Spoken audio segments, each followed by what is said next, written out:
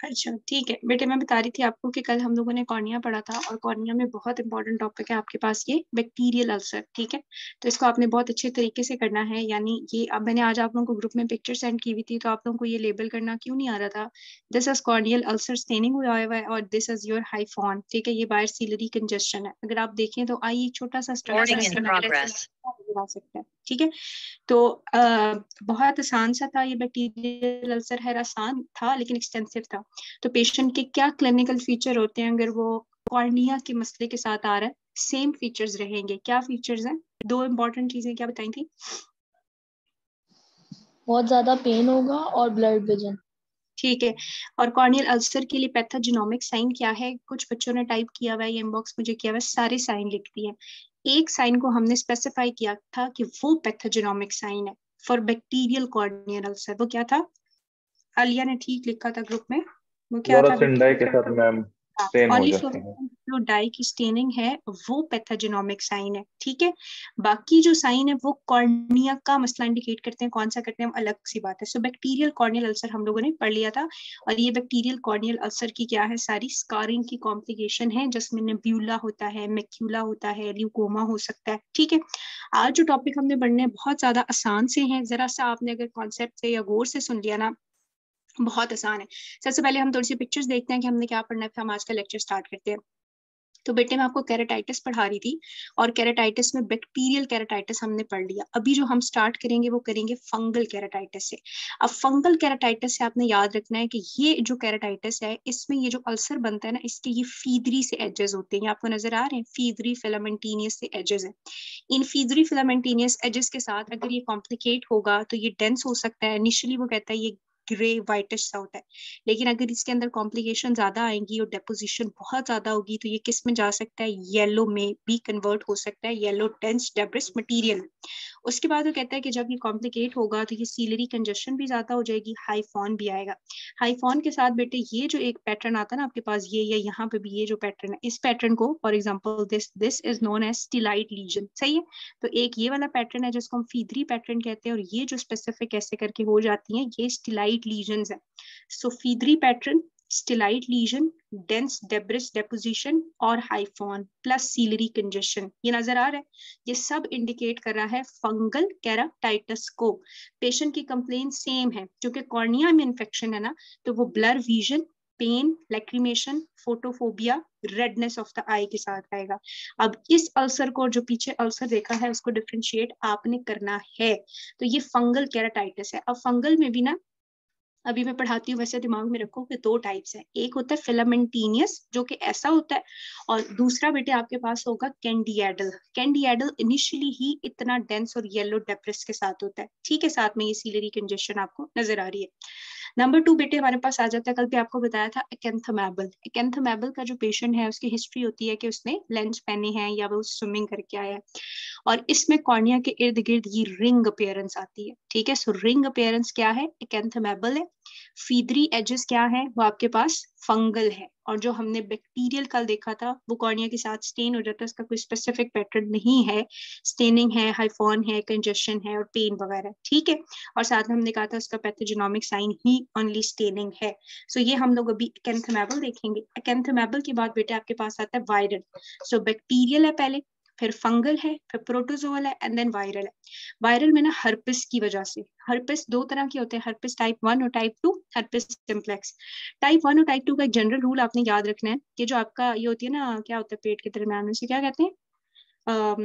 हम लाइकस या वेस्ट कह लो। हम लाइकस से नीचे नीचे अगर लीजन हैं तो वो टाइप टू की वजह से होती हैं। अगर हम अम्बलाइकस से ऊपर ऊपर है फेस पे आईज पे, इधर उधर स्किन पे नेक पे ट्रंक पे तो वो टाइप वन की वजह से होती हैं। तो this is herpes type one कि जिसमें आपको साथ में वेजिकल्स भी मिलेंगी ब्लिस्टर्स भी मिलेंगे और आई की इन्वॉल्वमेंट है। आई की इन्वॉल्वमेंट है तो कॉर्निया इन्वॉल्व होगा कैराटाइटिस होगा। So this is viral keratitis अब इस वायरल कैराटाइटिस में ही आगे एक टाइप आ जाती है, जिसको हम कहते हैं टिंड्रिएटिक या जियोग्राफिकल कैराटाइटिस ठीक है? सिर्फ़ फ़र्क यही है, वही कंप्लेन है। बस जब हम स्टेनिंग करेंगे करेंगे तो स्टेनिंग पे आपको ये डेंड्रिटिक पैटर्न मिलेगा। अगर ये डेंड्रिटिक पैटर्न मिलेगा तो this is herpes simplex virus dendritic ulcer ठीक है? सो so, हमने बेटे फंगल में फीदरी एजेस देखने हैं एकेंथमेबल में ring deposition around the cornea देखनी है हर्पिस या वायरल में साथ में उसको फीवर मलेज लिम्फेडिनोपैथी वेजिकल और ये बना हुआ होगा साथ में स्टेनिंग पे ये डेंड्रिटिक आ जाएगा ठीक है? उसके बाद वो कहता है कि नेक्स्ट आपके पास आता है। अब ये जो हमने अभी तक कल्सर पढ़े है ना, ये यूजुअली कॉर्निया के एपिथीलियम को इन्वॉल्व करते हैं। आपको पता ना कॉर्निया में फाइव लेयर्स है। हम कहते हैं जी एपिथीलियम है बेसमेंट है, फिर नहीं वोमेन है, फिर स्ट्रोमल है डेस्मेंट है एंडोथीलियम है। ठीक है? तो ये जो हम बैक्टीरियल फंगल एकेंथोमेबल और हर्पिस की बात की, इसमें यूजुअली एपिथीलियल लेयर इन्वॉल्व होती है, ठीक है? और फिर इन्फेक्शन इन्वेड भी कर सकता है। अब नेक्स्ट वो कहता है बॉमेन को छोड़ के जो स्ट्रोमा है ना समटाइम ऐसे होता है एग्जैक्ट हमें नहीं पता, लेकिन कुछ वायरसेस क्या करते हैं स्ट्रोमा को जाके क्या करते हैं नेक्रोसिस कर देते हैं। स्ट्रोमा की अगर नेक्रोसिस होगी तो इसको कहते हैं स्ट्रोमल नेक्रोटिक केराटाइटिस तो ये हम देखेंगे। उसके बाद वो कहता है जो सबसे इनर लेयर है ना बेटे जिसको एंडोथीलियल कहते हैं। तो एंडोथीलियल के अंदर भी अगर इन्फेक्शन हो जाए और उसकी वजह से आपके पास जो है वो अंदर आ, आ, ये अल्सर अल्सर सा बनता है जिसको हम लोग डेस्की फॉर्म केराटाइटिस कहते हैं। सिर्फ़ ये इंपॉर्टेंस है कि इसमें एंडोथीलियल इन्वॉल्व होता है। बाहर से जो एपिथीलियम है वो बिल्कुल इंटेक्ट है। ठीक है? और ये डिस्क फॉर्म सी ओपेसिटी आपको नज़र आती है और ये एंडोथीलियल डिस्क की फॉर्म कैराटाइटिस है। यहाँ तक मैं पढ़ाऊँगी और अगर आप थक ना गए, आप लोग इंटरेस्टेड रहे तो फिर हम साथ में बेटे हर्पिस जूस्टर ऑप्थेलमिकस पढ़ेंगे। ये बहुत आसान है। ऑप्थेलमिकस का क्या मतलब है? ऑप्थेलमिक डिवीज़न ठीक है? जो ट्राइजेमिनल की ऑप्थेलमिक डिवीज़न है उसके अंदर बेसिकली जो आपका हर्पिस जूस्टर है ना, पीछे हमने हर्पिस सिंप्लेक्स की बात की है। हर्पिस जूस्टर इन्वेट कर जाता है और जब वो रीएक्टिवेट होता है तो ये जो माथा है स्किन है और तकरीबन चिन का जो एरिया है, यहाँ सारे एरिया पे ये मेक्यूलो पेप्यूलर रैशेज आते हैं और इनके अंदर फिर आगे क्या बनना शुरू हो जाते हैं वो वेजिकल्स बनती हैं, फिर ये पैचेस से बनते हैं पॉस्ट्यूल्स बनती हैं रप्चर होती हैं, फिर इनके निशान रह जाते हैं। तो ये इस तरह की एक आपकी ऑस्की में रख दिया जाता है। तो this is herpes simplex zoster infection sorry herpes zoster है, या फिर हम इसको ऑप्थेलमिकस भी कहते हैं। ठीक है ऑप्थेलमिकस कैराटाइटिस यानी इसमें माथा आईलिड और आपकी चीक्स एरिया यानी जो ऑप्थेलमिक ब्रांच है, वो इन्वॉल्व होती है। और लास्टली हमारे पास आ जाता है मोरोन अल्सर आई होप यहाँ तक हम लोग आज पढ़ लेंगे आप मुझे तंग ना करें। है कुछ भी नहीं है। हमने दिमाग में आप लोग रखे ना तो कुछ भी नहीं है। मुझे समझ नहीं आता आप लोगों को इतना मसला या इतना स्लो पेस क्यों है? जब अपने इतने मुश्किल पैथोलॉजी फार्माकोलॉजी फोरेंसिक पढ़ी हुई है तो आए तो है इतना चुन्नू सा स्ट्रक्चर है, उसमें क्या ही पढ़ ले रहे हैं। तो लास्ट चीज़ आती है बेटी मुरौन अल्सर मुरौन अल्सर में बेसिकली ये होता है कि आपको पता है, हमने कहा था कि ये कॉर्निया होता है ना, और ये स्क्लारा होता है, ठीक है? और ये जो कॉर्नियो स्क्लैरल जंक्शन होती है, इसको क्या कहते हैं? लिम्बस, ठीक है? तो अराउंड लिम्बस या इस पेरीफ्री में अल्सर बनता है तो क्रॉनिक अल्सर बनता है, लेकिन वो पेरीफ्री में बनता है, जहाँ कॉर्नियो लिम्बल जंक्शन है, ठीक है? इसको हम लोग कहते हैं Mooren ulcer. Mooren ulcer basically due to auto immunity बन रहा होता है वहाँ पे क्लियर तो यहाँ तक आज हम लोगों ने चीज़ें पढ़नी है। Again this is Mooren ulcer, जो पेरीफ्री में है due to some auto immune reason this is ophthalmicus जो कि ऑप्थेलमिक डिवीज़न इन्वॉल्व है, सामने नज़र आ रहा है। क्यों? क्योंकि इसके अंदर हर्पिस जूस्टर वायरस घुस जाता है। सही है? ये हमारे पास एंडोथीलियम लेयर जो है, वो कॉर्निया की अल्सर क्रिएट हो रहा होता है। यहाँ हमने स्ट्रोमल नेक्रोसिस की बात करनी है। दिस इज़ डिंड्रेटिक और जियोग्राफिकल अल्सर जो बेसिकली हर्पस की वजह से होता है। ये भी हर्पस सिम्प्लेक्स वायरस जो है वही दिखाया हुआ है हमें। ये रिंग एकेंथमेबा बताती है। दिस इज़ फंगल कैंडियाडल और this is fungal filamentous infection clear तो ये चीज़ें जो हैं और इनके थोड़े से साइन सिम्टम और ट्रीटमेंट और अगर आपने फार्मा में इसलिए कहती हूँ, एक सब्जेक्ट अगर इंसान अच्छा पढ़ लेना वही सब्जेक्ट ये जो लोग कहते हैं ना, आप शॉर्टकट कर लें और पास पेपर्स कर लें, गलत। अगर आप सिर्फ़ फार्मा भी क्लियरली पढ़ लेना तो आपको पता चलेगा कि फार्मा हर सब्जेक्ट में आपको कितना हेल्प करती है। तो आपने डायग्नोसिस बना ली, आपको फार्मा अच्छी आती है तो आप लोग मुझे बताएँ कि अगर फंगल इन्फेक्शन है तो हम क्या दे सकते हैं? Nystatin amphotericin B fluconazole ketoconazole इनके ड्रॉप्स दे दूँगी सिस्टेमिकली भी दूँगी, साथ एंटीबायोटिक्स डाल दूँगी। अगर एकेंथमेबल इन्फेक्शन है तो उसमें एंटी प्रोटोजोल स्टार्ट कराऊँगी। अगर वायरल है हर्पिस है तो ए साइक्लोविर यही पढ़ी हुई है ना सारी हमने फार्मा में। अब अगर हमने अच्छी पढ़ी हुई हो तो फिर क्या ही बात है, ठीक है? सो अब बेटे हम लोग यहाँ से स्टार्ट करेंगे ये। कोई क्वेश्चन है यहाँ तक तो पूछ ले, वरना फिर हम स्टार्ट करते हैं इसको। फंगल कैराटाइटिस को। Any question no no ma'am पढ़े ओके okay, मैं कोशिश करूँगी बहुत आहिस्ता आहिस्ता पढ़ाऊं ताकि आप लोग इसको ऑब्जॉर्व कर सकें फिर भी मसला हुआ तो मुझे बता देना। सो so, बेटे हम लोगों ने कहा कल हम लोगों ने ये बात की कि हम स्टार्ट कर रहे हैं कॉर्निया और कॉर्निया में हम स्टार्ट कर रहे हैं कैराटाइटिस की स्पेलिंग गलत हो गया है। हमारा हम कैराटाइटिस स्टार्ट कर रहे थे। कैराटाइटिस का बेसिक मकसद क्या था या मतलब क्या था? सिर्फ़ आप समझने की हाथ पे गौर किया करें ना साथ लिखे ना कुछ। कैराटाइटिस का मतलब है बेटे कॉर्निया की इन्फ्लेमेशन और हमने कहा कि डिपेंडिंग अपॉन इट्स इटियोलॉजी हम कहते हैं कैराटाइटिस हमारे पास दो तरह का होता है। नंबर वन की इसकी जो कॉज है, इसकी जो रीजन है, वो क्या हो सकती है? माइक्रोबियल एक सेकेंड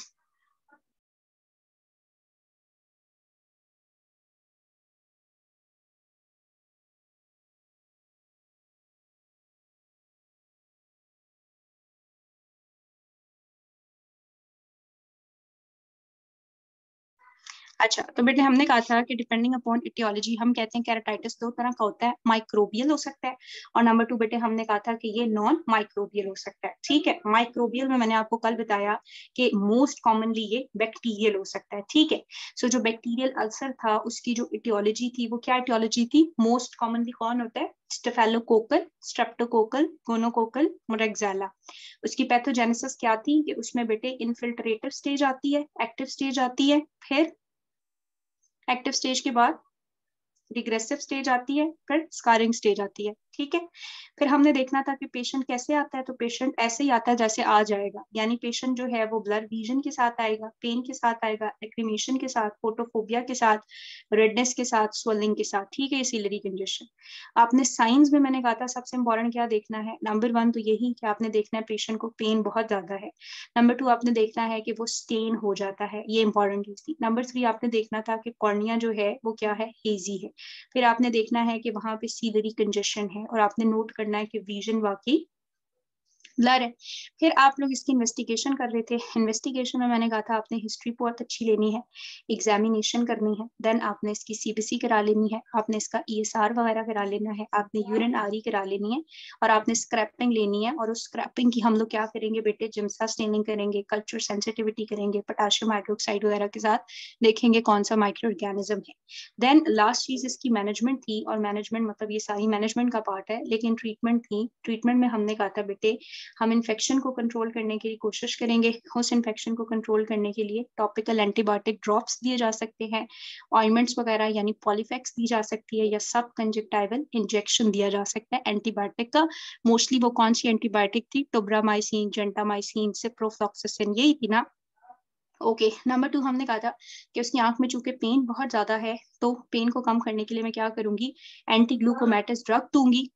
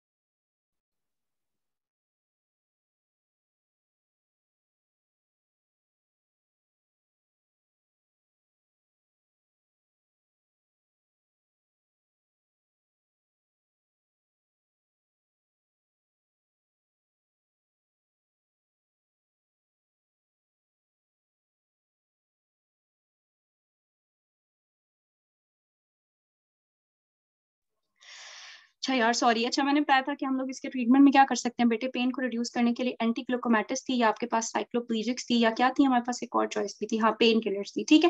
फिर हमने कहा था, हमारी पूरी कोशिश होती है कि हम डेस्मेटोसील बनने ना दें। डेस्मेटोसील क्यों बनती थी? क्योंकि डेस्मेंट मेमरीन क्या करती थी? एक्सपोज होकर परफोरेट होती है, वो बल्ज करती है। इसकी प्रिवेंशन के लिए फिर बहुत ऑप्शन थी कि आप बैंड अप्लाई करेंगे और आप जो है उसको कहेंगे कि वो स्ट्रेनिंग से बाज रहे, कफ वगैरह ना करे एंटी ग्लूकोमेटिस ड्रग ले, ठीक है सारी? या एमनियोटिक मेम्ब्रेन ट्रांसप्लांट पहले ही कर दें, अगर बाद में ये होना है और बाद में जो ट्रांसप्लांट होना है तो आप पहले करेटोप्लास्टी या एमनियोटिक मेम्ब्रेन ट्रांसप्लांट कर दें। फिर यही था कि डेस्मेडोसील बन जाएगी तो उसमें भी आपके पास यही है कंजेक्टाइवल फ्लैप वगैरह बैंडेज वगैरह amniotic membrane transplant and then उसके बाद जो है वो करेक्टोक्लास्टी आ जाता है। एंड लास्ट चीज़ थी कि हम लोगों ने क्या करना था एक नॉन हीलिंग अल्सर अगर बन जाएगा तो हम उसको किस तरह से मैनेज करेंगे। सो so, ये आपकी कल वाला टॉपिक था जो बहुत इंपॉर्टेंट था। मुझे नहीं पता इसमें क्या मुश्किल है।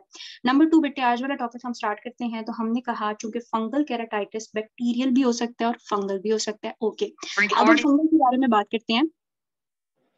रिकॉर्डिंग नहीं हो रही? हो रही है? अच्छा फंगल कैराटाइटिस के बारे में बात करते हैं। वो कहता है कि अगर फंगल कैराटाइटिस हो जाएगा ना बेटे तो ये बहुत ही ज़्यादा पोटेंशियली एक लीथल ब्लाइंडिंग कंडीशन होती है, ठीक है? पेशेंट जो है वो ब्लाइंड भी हो सकता है। और मैं कह रही हूँ कि कॉर्निया का कोई भी मसला पेशेंट को ब्लाइंड कर सकता है। अगर अल्सर है इन्फेक्शन है, जो भी है ना तो हम इसको बड़ा सीरियसली डील करते हैं, ठीक है? सो ये बड़ा पोटेंशियली लीथल ब्लाइंडनेस की तरफ़ पेशेंट को लेके जा सकता है। इसलिए आपने इसकी क्या करनी है? इमीडिएट मैनेजमेंट करनी है। फ़ौरन से आपने पेशेंट को क्या करना है? मैनेज करना है, ठीक है? अब वो कह रहा है कि फंगल कैराटाइटिस की टियोलॉजी ऑलरेडी हमने बात कर ली फंगल या इसको फिलामेंटीनियस कैराटाइटिस भी कहते हैं। इटियोलॉजी हमने कहा कि हमारे पास क्या होते हैं? फंजाई होते हैं और फंजाई एक ऐसे माइक्रो ऑर्गेनिज्म है जिनकी जो सेल वॉल है वो काफ़ी ज़्यादा रिजिड होती है।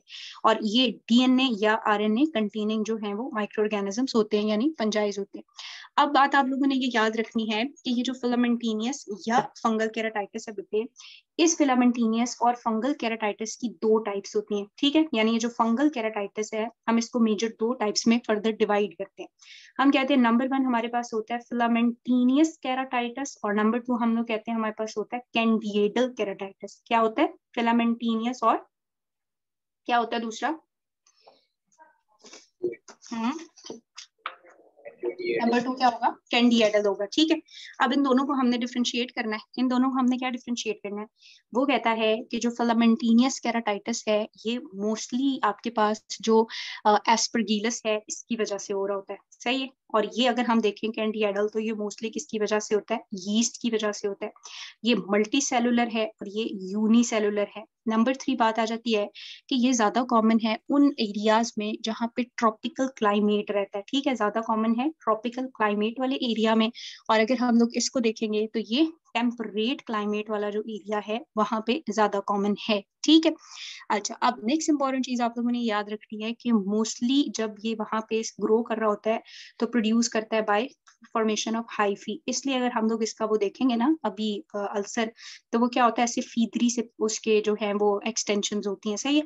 और इसमें अगर हम कैंडियाडल देखेंगे तो काफ़ी डेंस सी येलोविच सी डेंस डेपोजिशन हुई हुई होती है, ठीक है? सो फंगल कैराटाइटिस भी आगे से फिलामेंटीनियस या कैंडियाडल हो सकता है। अगर मैं कहूँ कि रिस्क फैक्टर क्या है तो एक फंगल इन्फेक्शन के लिए ओवरऑल रिस्क फैक्टर क्या होता है? किन लोगों को फंगल इन्फेक्शन ज़्यादा होता है? इम्यूनो कॉम्प्रोमाइज वेरी गुड जो पेशेंट क्या है? इम्यूनो कॉम्प्रोमाइज है। जो पेशेंट स्टेरॉइड्स ले रहा है, या जिस पेशेंट का ट्रांसप्लांट हुआ हुआ है, या अगर एक वुमेन प्रेग्नेंट है। प्रेगनेंसी में आप देखोगे वुमेन्स बहुत ज़्यादा फंगल इन्फेक्शन के साथ, क्योंकि प्रेगनेंसी क्या है? लो इम्यूनिटी की एक